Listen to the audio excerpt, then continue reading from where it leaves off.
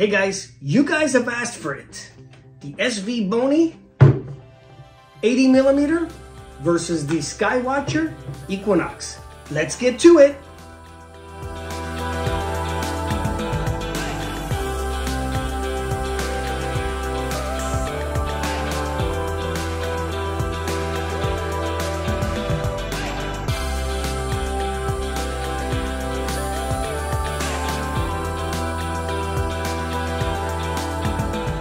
Welcome back to the Joe Jaguar Show, your best friend in science, astronomy, and telescopes. Well, I hope one of them. Actually, I noticed a lot of you watch, and I make comments on a few other uh, channels and too. Maybe you guys have uh, seen me, so it's okay.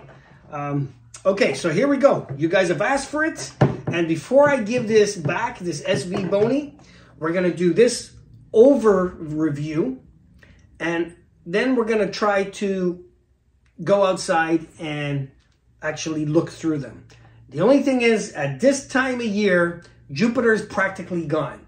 Maybe the only way I can get it done is if I go to the street, but it's just going to be impossible to have my mount and tripod and my camera on a tripod and then two scopes, two mounts.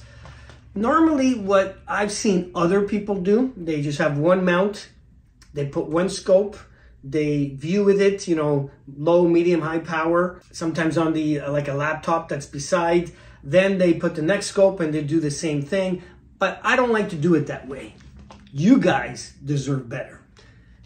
This is what I mean. I like when I compare two or three scopes, I like to have them each on a separate mount. So I'm, and I always beforehand, uh, like to see the matching powers as close as I can get within a couple powers. And then I like to look at low power. So I try to match like 30 power to 32 or something like that, very close. I look here, then I look there, then I look back, and then I can give you, you know, review within a few seconds of what I see. I don't like if I do one and spend like half an hour on one doing all kinds of power and then I do put, you know, take it off the tripod, put the new one on the tripod, find the object and then go low, medium, high power again in my brain. That could be 30 minutes, 45 minutes away. And there's no way I'm going to differentiate, you know, real time. Does that make sense? So I like to do low power and sometimes go back and forth three times, go to the medium power and then go back and forth in, you know, each one, then the high power. And that way I'm seeing, you know, practically within two to three seconds how it looks. And I can give a better review versus doing one at a time with one mount.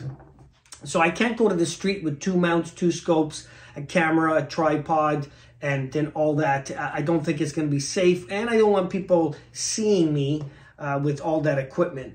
So practically Jupiter's gone. So the only way we can test these guys is maybe on the moon, like the first quarter moon, half moon, you know, whatever, three quarter moon, something, and maybe uh, on a star, um, you know, maybe something like that. Um, and that's about it. Hopefully that's good enough because I don't really have much of a choice.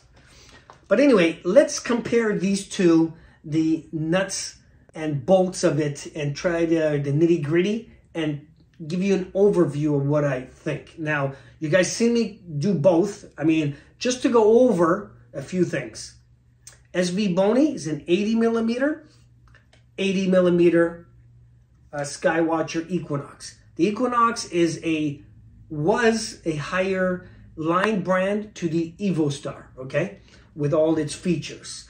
Um, this is a doublet with a 51 ED glass with a mating uh, lanthanum, which is actually better than the old first generation one, um, at f7, okay?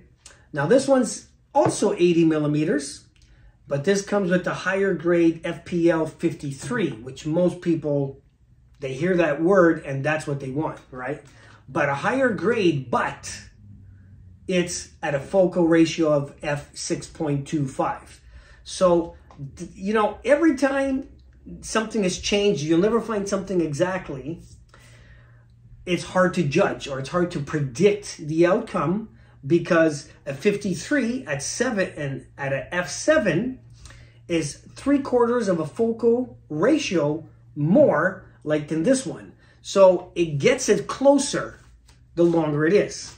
So it's going to be interesting to see if a 51 glass at f7 is comparable or very close, let's see, to a 53 at f6.25. Now, if this one was at f7 or if this was at, then you'd probably see the difference even slightly more. But this one, you know, being a little bit longer does have a slight extra chance now to compete. Uh, but I don't want, you know, I still would say this one might or should, in theory, if we go by theory, should perform better because it's only three quarters of a focal length. It's not that much. If this one was like f8, then I would say it's probably going to be almost equal. Both of them have sliding dew caps. This one isn't really working because it doesn't even hold it. I have to put an elastic band. But besides that, it works. This one is rotatable a different way than this is rotatable, but it still is.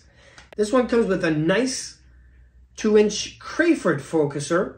And I believe it's the Long Perng, which makes good focusers, okay? This one would be, I would say this focuser has a slight edge as far as quality over this one. But this is not a cheapy cheapy one, as I discussed in previous uh, videos. It is rotatable, it's notched, it is fairly good and smooth. It's uh, I like the rack, it has lots of focus. So both of these are good focusers for these telescopes. I do give this one a slight edge. This one might be a half a point up.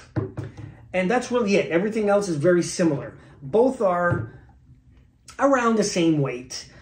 What this has the plus on is that it has separate rings and the bar, where this one's kind of built in. So that has the benefit or the plus on that.